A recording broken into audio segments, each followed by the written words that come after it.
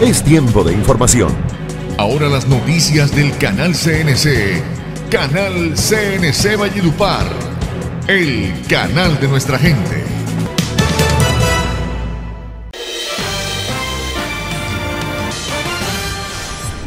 La ola de inseguridad no cesa en el municipio de Agustín Codazzi. Dos hechos violentos tienen atemorizada a la comunidad. El más reciente caso ocurrió en la invasión Las Tablitas, donde fueron atacadas tres personas de una misma familia, identificadas como Jefferson David Méndez, de 19 años, Ana Victoria Méndez y José Albeiro Cuellar, de 44 años. Baleado en el abdomen y en un hombro, quien murió hoy en horas de la mañana. Horas antes de este primer hecho, en un ataque sicarial, fue asesinado a bala Sergio Luis Olivero Hinojosa, de 33 años, ultimado en un potrero ubicado en una zona vulnerable de dicha población.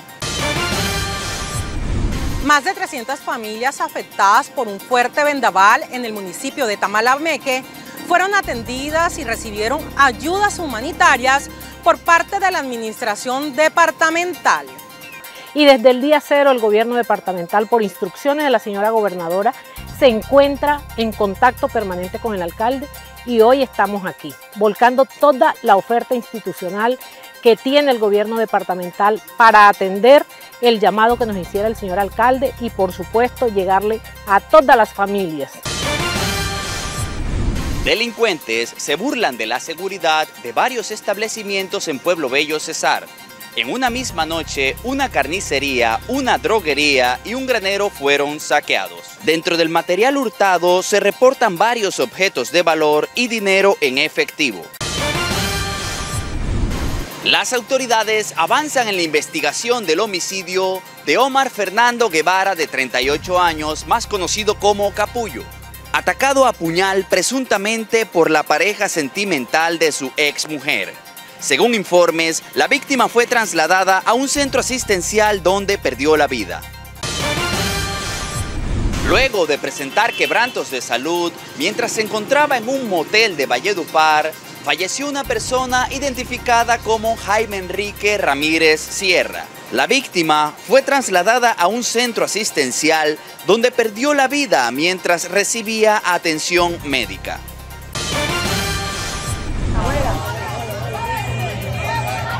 Durante un fuerte aguacero, Marvin José Mercado, de 26 años, murió electrocutado mientras presuntamente intentaba conectar cables de alta tensión en el barrio Mareigua de Valledupar. En este incidente, además, una persona resultó herida y fue trasladada a un centro asistencial con varias lesiones en su cuerpo debido a la potente descarga eléctrica. Recuperándose satisfactoriamente se encuentran los futbolistas del equipo vallenato de la Sub-17A, quienes se vieron involucrados en un accidente de tránsito de regreso de un partido contra Quilla FC en el torneo nacional de Interclubes. En el bus se transportaban jugadores de 16 y 17 años, el profesor Dailer Hernández y el entrenador técnico Juan Suzuki Miranda. Un partidazo hemos visto, ya nos vamos, Jota. Se espera un segundito, Jota Nantilla, centro. ¡Ven el empate, ven el empate! ¡Gol! Alianza le amargó la celebración de 100 años al Junior de Barranquilla tras conseguir el empate como visitante 2 a 2. Y los muchachos lo interpretaron, lo interpretaron, me gustó cómo salió el equipo de segundo tiempo. Las variantes le dieron lo que necesitábamos. Un equipo que tuvo transiciones rápidas, que generó lo suficiente para, para no perder y para sacar un buen resultado y eso es. Por orden judicial, las autoridades capturaron en el barrio Don Carmelo a Ismael José Rojas Arias, alias Panelo, de 36 años, procesado por porte ilegal de arma de fuego y homicidio. La orden fue emitida por el Juzgado Penal Municipal con función de control de garantías segundo de Valledupar, por su vinculación con varios homicidios y porte ilegal de armas.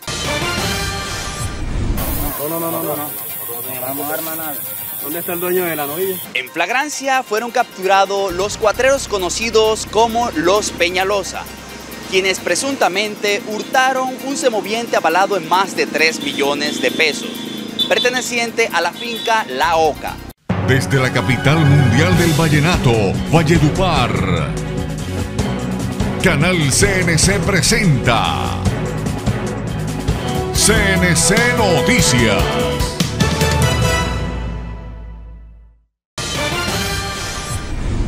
Las autoridades avanzan en la investigación del homicidio de Omar Fernando Guevara, de 38 años, más conocido como Capullo, atacado a puñal presuntamente por la pareja sentimental de su ex mujer. Según informes, la víctima fue trasladada a un centro asistencial donde perdió la vida. Conmocionada se encuentra la comunidad del barrio 7 de agosto en Valledupar tras conocer la muerte trágica de Omar Fernando Guevara de 38 años de edad, conocido cariñosamente como Capullo, quien fue apuñalado en un estanco de la ciudad por la actual pareja de su exmujer. Los hechos se registraron la madrugada del domingo en el establecimiento abierto al público Don Mao, ubicado en la avenida Simón Bolívar de esta ciudad, donde se encontraba departiendo con su expareja sentimental y madre de su hijo. De acuerdo a la información recopilada por las autoridades, hasta el lugar llegó la actual pareja de la fémina y lleno de celos, atacó a Capullo con un arma cortopunzante, propinándole tres heridas que le causaron la muerte en un centro asistencial, hasta donde fue llevado por las personas que se encontraban en el lugar. La víctima presentó una herida en la parte baja del omoplato, con afectaciones en el pulmón y dos más en la espalda. Testigos del hecho aseguran que el homicida llegó al estanco y sin mediar palabra lo atacó con el puñal, para luego huir sin ser capturado hasta ahora por las autoridades. Capullo, por muchos años, fue el capitán del equipo popular de fútbol del barrio 7 de agosto, además de ser una persona muy querida por los vecinos. Al sector tenía pocos días de haber regresado a hacer una nueva vida. Las autoridades policiales iniciaron las investigaciones respectivas para la identificación plena del homicida, cuyo rostro está siendo monitoreado en los videos de las cámaras de seguridad del establecimiento abierto al público y de los locales vecinos. Familiares y miembros de la comunidad del barrio 7 de agosto piden justicia y la pronta captura del asesino, quien se encuentra prófugo de la justicia.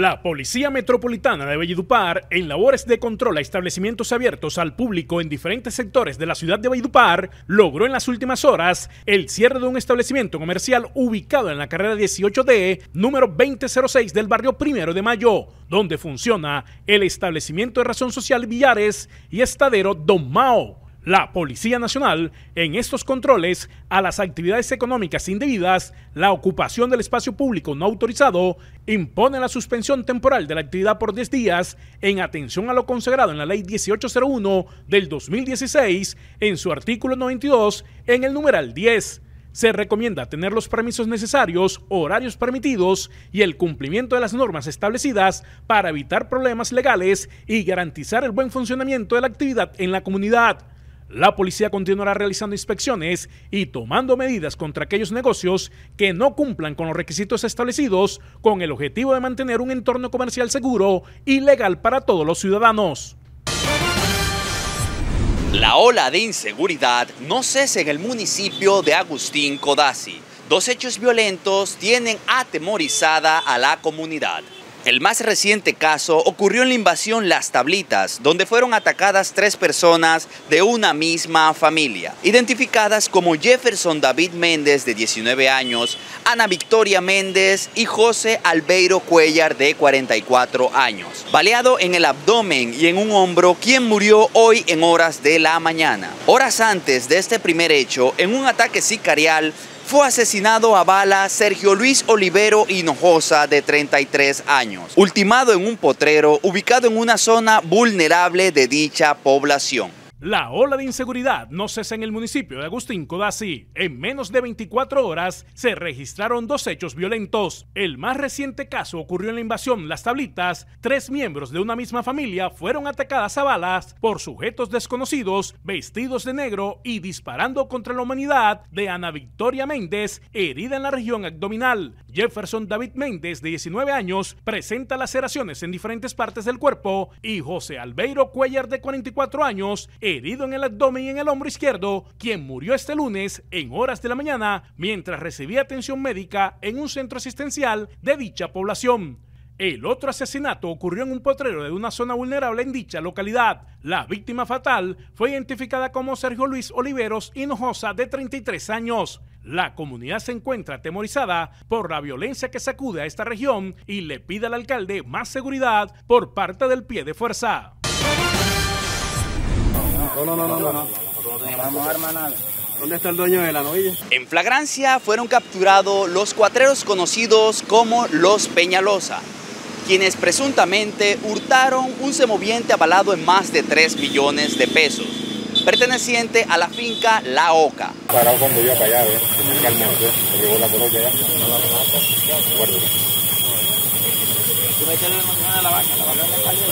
Buenas noches.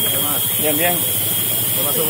La rápida reacción de la Policía Nacional logró la captura de dos cuatreros en el momento que hurtaban un novillo en una finca ubicada en una vereda del municipio de Curumaní, Cesar. Los detenidos fueron identificados como Nefer José Peñalosa Gómez, de 50 años, y Jonis Peñalosa Gómez, de 42, luego que el administrador del predio informaran a las autoridades del hecho delictivo. La semoviente está evaluada en 3.500.000 pesos y los aprendidos fueron puestos a disposición de las autoridades por el delito de abigeato.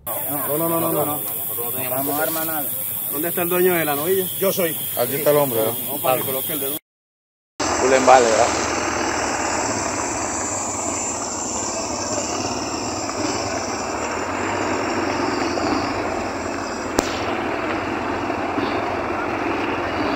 Démonos adelante, María.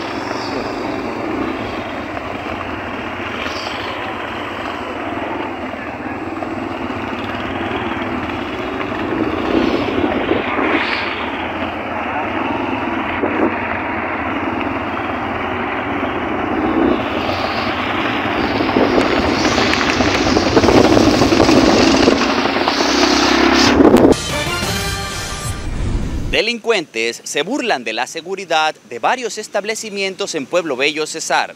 En una misma noche, una carnicería, una droguería y un granero fueron saqueados. Dentro del material hurtado se reportan varios objetos de valor y dinero en efectivo. En un hecho sorprendente y que ha generado preocupación en la comunidad pueblo-bellana, una droguería, una carnicería y un granero fueron saqueados en la misma noche en el municipio de Pueblo Bello. Una reconocida droguería, una carnicería y un granero sufrieron varias pérdidas luego que delincuentes robaran varios objetos de valor, lo que prenden las alarmas en esta población del departamento del Cesar, ya que estas acciones delictivas toman fuerza en los últimos meses. El canal CNC Valledupar intentó comunicarse con el alcalde el canal intentó comunicarse con el alcalde Alfredo Borges para conocer su versión de los hechos, pero no respondió al llamado. La ciudadanía exige acciones contundentes para mitigar el índice de inseguridad.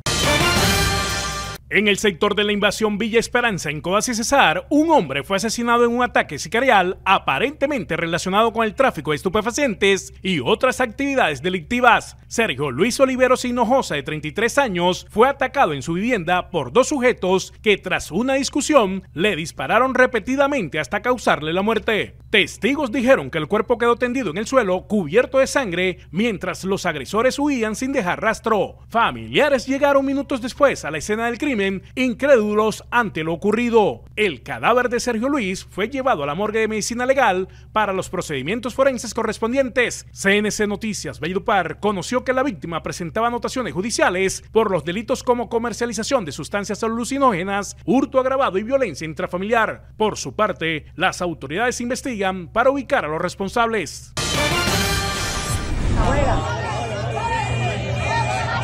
Durante un fuerte aguacero, Marvin José Mercado, de 26 años, murió electrocutado mientras presuntamente intentaba conectar cables de alta tensión en el barrio Mareigua de Valledupar. En este incidente, además, una persona resultó herida y fue trasladada a un centro asistencial con varias lesiones en su cuerpo debido a la potente descarga eléctrica.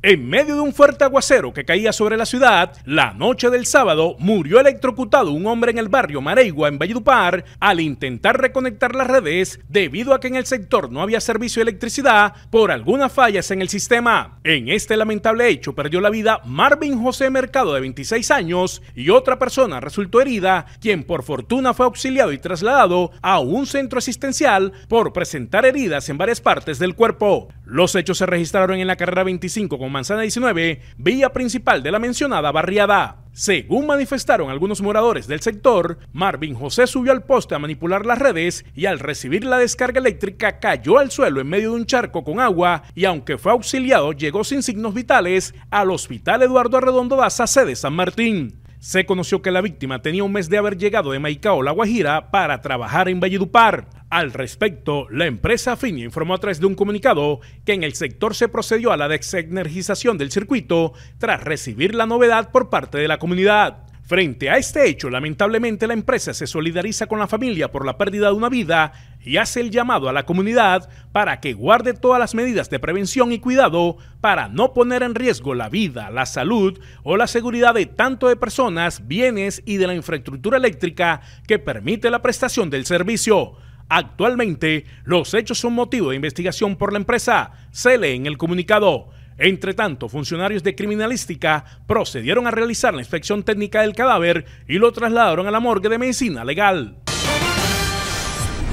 En el barrio San Marcos del corregimiento de la Loma de Calentura, en el Paso César, Aldair Javid Cadena Macea, de 16 años, apodado como Barraco, fue asesinado a balazos frente a un cementerio. La noche del viernes 2 de agosto, Aldair Javid Cadena Macea, un joven de 16 años, fue ultimado a bala en el parque del barrio San Marcos del corregimiento de la Loma de Calenturas, en el Paso Cesar, ubicado frente al cementerio. Según testigos, un hombre armado se acercó a Macea, quien se encontraba con amigos en el parque, y le disparó dos veces en la cabeza sin mediar palabras. El joven, quien era conocido como Barraco, murió en el acto y el asesino huyó con rumbo desconocido. Las autoridades acordonaron, las autoridades acordonaron el área, realizaron inspección técnica al cadáver. Se conoció que la víctima era barrista de Atlético Nacional en la localidad. Este hecho de sangre preocupa a la comunidad, ya que resalta la necesidad de implementar un plan de choque para contrarrestar el consumo de estupefacientes y evitar que los jóvenes tomen mal camino y se conviertan en foco de la delincuencia. La investigación está en curso para esclarecer las circunstancias del crimen y capturar al responsable. Un partidazo hemos visto, ya no vamos Jotas, esperamos un segundito, Jota Antilla, centro, ven el empate, ven el empate. Alianza le amargó la celebración de 100 años al Junior de Barranquilla tras conseguir el empate como visitante 2 a 2. Bueno, efectivamente, eh, el primer tiempo no fue fácil. Junior, por lo general, los primeros 10 minutos, 15 minutos acá en casa, siempre es arrollador, es un equipo que, que va y va. Siento que nuestro equipo eh, tenía el control del juego, Junior tenía la pelota, pero no, no, no nos hacía daño. Nosotros recuperábamos efectivamente en una zona baja, eh, pero recuperábamos la pelota. Nos faltó encontrar las sociedades, nos faltó posicionarnos mejor y adueñarnos un poco más del juego, pero, pero comenzamos a, neutralizar a Junior. Una vez recibimos gol, que Junior por ahí de pronto, eh, o nosotros tenemos una reacción importante, ya comenzamos a generar juego y, y, se viene lo que es empatar ese juego. Ya el segundo tiempo fue diferente. El juego de los, de los módulos y estructuras los tenemos, tenemos variantes en, en ellos y, y, los muchachos día a día se van afianzando en cuándo hay que modificar de acuerdo a la necesidad que nos vaya presentando el juego. Hoy lo hicimos de muy buena manera. Eh, me gustó, me gustó lo que, lo que se hizo. Hoy vi un equipo que vivió diferentes facetas en el juego y eso hace parte del crecimiento, del proceso. Contento con lo que se hizo, me agrada lo que, lo que veo en mi equipo y vamos a corregir cosas que, como todo, hay que mejorar, pero, pero fue un buen partido para nosotros. Estás viendo Canal el canal de nuestra gente. UPC presenta el clip rumbo a la acreditación institucional. Iniciamos este espacio donde estaremos dando a conocer los días lunes, miércoles y viernes cómo avanza la Universidad Popular del Cesar rumbo a la acreditación institucional. Este trabajo para alcanzar el máximo reconocimiento que otorga el Ministerio de Educación Nacional a las instituciones de educación superior es liderado por el rector Robert Romero Ramírez, quien nos cuenta en qué consiste la acreditación en alta calidad. Es el reconocimiento de calidad que hace el Ministerio de Educación Nacional a aquellas instituciones que cumplen con los más altos criterios de calidad en el desarrollo de sus objetivos y propósitos. Ya contamos con el número de programas acreditados en alta calidad, lo que nos permite cumplir con los requisitos mínimos para lograr este objetivo. Uno de los estamentos importantes en este camino rumbo a la acreditación institucional es el estudiantil. A propósito, hoy más de 15.000 estudiantes nuevos y antiguos inician su actividad académica. En nombre del equipo directivo y administrativo quiero darle la más cordial bienvenida a nuestros más de 15.000 estudiantes y a nuestro grupo de docentes. Este semestre trabajaremos por la acreditación en alta calidad.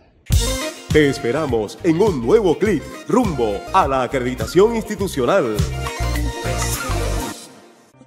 En 1968 nos embarcamos en un viaje a la compensación familiar de la clase trabajadora del Cesar y hoy Después de 56 años, nos fortalecemos como una Confacesar que genera impacto social sostenible con unos resultados de oportunidades en el 2023. Pese a la coyuntura económica, el año pasado vimos reflejado un crecimiento en la afiliación, alcanzando 9.419 empresas afiliadas que confiaron en nosotros para que sus aportes por 151.292 millones de pesos se transformaran en servicios de bienestar para las familias de 130.574 trabajadores, impactando además el desarrollo social y económico de la región. ¿Necesitas seguridad preventiva vehicular y cuentas con poco presupuesto? En Centro Multiservicios GPS Alarma CJ tiene para ti la forma más fácil y económica de lograrlo. Paga el monitoreo de seis meses y el GPS te lo prestamos en comodato, instalado y con garantía. Me acaban de robar el vehículo de placa APL 31E. Señor Mesa, ¿se encuentra usted bien? Sí, sí. ¿Qué modalidad fue el robo? A mano armada. Nuestro personal de búsqueda y recuperación en compañía con el cuadrante van hacia la ubicación que arroja el GPS. Por favor, diríjase a un CAI de la policía más cercano. Esté seguro y espere nuestro llamado. No esperes a que te lo cuenten. Rueda Seguro 4G por todo el territorio nacional 24-7. Contáctanos a la diagonal 18 de número 2050 Valledupar o nuestra cuenta Instagram arroba GPS o nuestra página web www.gpsalarmacj.com. Nuestra prioridad es tu seguridad y la de tu vehículo. En el grupo empresarial Carpio conformado por Carpio Firma de Abogados y Carpio Bienes Raíces, contamos con un equipo capacitado para brindar los más eficientes servicios de asesorías, consultoría, interventoría en el área legal, así como el área de la administración de inmuebles.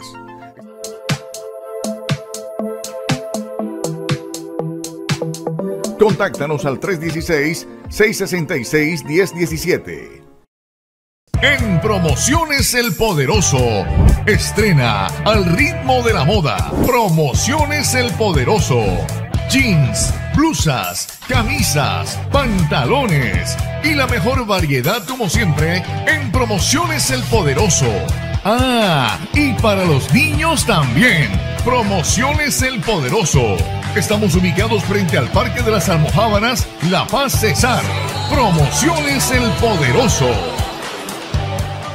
El ICBC es una institución que marca la diferencia. Prestamos servicios como cardiología clínica, cardiología intervencionista, programa de cirugía cardiovascular, hemodinamia, electrofisiología e intervencionismo neurocardiovascular, vascular periférico, métodos diagnósticos destacando cardiología no invasiva. Además, contamos con el servicio de unidad de cuidados intensivos y hospitalización, un equipo humano comprometido en el cuidado y monitoreo de nuestros pacientes, brindando un servicio oportuno según la necesidad. Nuestro lema es Por el corazón del valle. Le ponemos el corazón para el bienestar de nuestros pacientes. Somos el Instituto Cardiovascular del Cesar. Ricardo Rojas Osorio, especialista en diseño y confección de moda masculina a la medida. Brindamos asesoría de imagen completa y además presta los servicios de entalle y arreglos de toda clase de prendas de vestir. Aparta tu cita al 318-401-0676 o visítalos en la carrera cuarta, número 13A bis 07. Ricardo Rojas Osorio, te llevamos a vivir la experiencia del buen vestir. En el corazón de Valledupar, donde la tradición y la modernidad se encuentran, hay un lugar que va mucho más allá de tus expectativas. En Mayales Plaza Comercial, la experiencia de compra cobra vida. Ven y encuéntralo todo en un solo lugar. Porque aquí valoramos tu fidelidad y queremos que cada momento sea especial para ti. Gánate el espectacular televisor de 55 pulgadas que trae la premiatón con Super Giro Cesar y Western Union. Participa enviando y recibiendo giros internacionales en los puntos autorizados de Super Giro Cesar y deposita la tirilla con tus datos personales en los buzones. Válido del 19 de julio al 16 de agosto de 2024. Conoce términos y condiciones en www.supergirocesar.com.co. Estás viendo Canal. El canal de nuestra gente. Por orden judicial, las autoridades capturaron en el barrio Don Carmelo a Ismael José Rojas Arias, alias Panelo de 36 años, procesado por porte ilegal de arma de fuego y homicidio. La orden fue emitida por el Juzgado Penal Municipal con función de control de garantías segundo de Valledupar, por su vinculación con varios homicidios y porte ilegal de armas. La Policía Metropolitana de Valledupar capturó en las últimas horas en el barrio Don Carmelo a un hombre acusado por los delitos de porte ilegal de arma de fuego y homicidio. El detenido identificado como Ismael José Rojas Arias, de 36 años, alias Panelo, era solicitado por el Juzgado Penal Municipal con función de control de garantías 2 de Valledupar, vinculado con el homicidio de varias personas, además de ser sindicado por el delito de porte ilegal de armas de fuego. Al respecto, el comandante de la Policía Metropolitana de Valledupar, Teniente Coronel Wilson Álvarez Sánchez, destacó la importancia de esta captura. Gracias al trabajo coordinado de la Policía Nacional y la Fiscalía General de la Nación, hemos logrado poner tras la reja a una persona que representaba una amenaza significativa para la seguridad de nuestra ciudad. Con la captura de este sujeto, se logra el esclarecimiento de varios hechos donde lamentablemente varias personas perdieron la vida. Ismael Rojas fue trasladado a la unidad de reacción inmediata URI de la Fiscalía, donde se iniciaron los trámites judiciales correspondientes. El día domingo se realizó la audiencia de legalización de captura ante el juez segundo ambulante de control de garantías y quedaron suspendidas las demás audiencias para el día martes. Recuperándose satisfactoriamente se encuentran los futbolistas del equipo vallenato de la Sub-17A quienes se vieron involucrados en un accidente de tránsito de regreso de un partido contra Quilla FC en el torneo nacional de Interclubes. En el bus se transportaban jugadores de 16 y 17 años, el profesor Dailer Hernández y el entrenador técnico Juan Suzuki Miranda.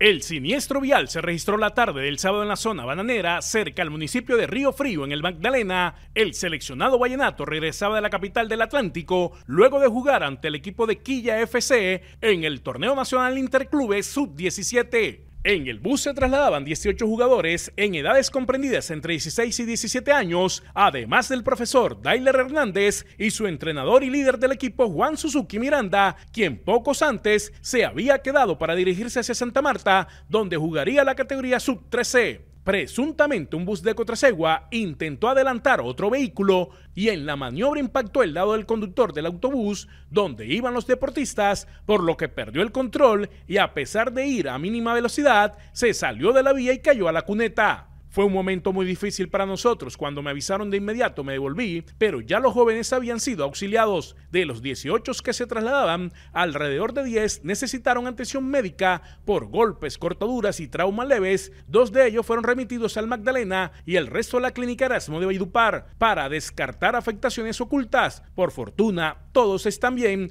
explicó el entrenador. Agregó que el autobús en el que se trasladaban es patrocinado por la alcaldía de Valledupar como parte de los programas de ayuda a los clubes deportivos de la ciudad. Agradeció las muestras de solidaridad de parte de los clubes deportivos y la comunidad en general.